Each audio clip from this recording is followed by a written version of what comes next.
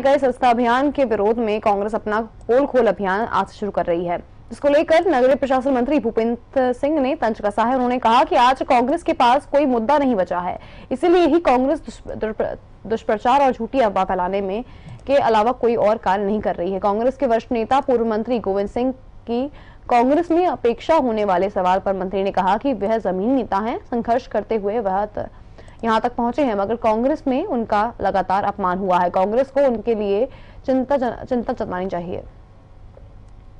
देखिए, कांग्रेस के पास कोई मुद्दे नहीं है, और इसलिए कांग्रेस सिवाय दुष्प्रचार करने के अलावा, झूठी अफवाहें के अलावा, और कोई काम कांग्रेस नहीं कर रही है, क्योंकि कांग्रेस के पास कोई मुद्दे नहीं है।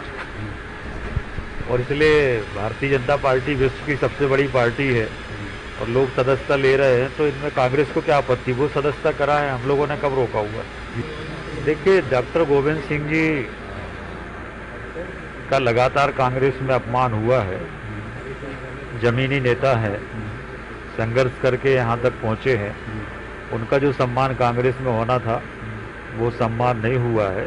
कांग्रेस को इसके बारे में आत्मचिंतन करना चाहिए।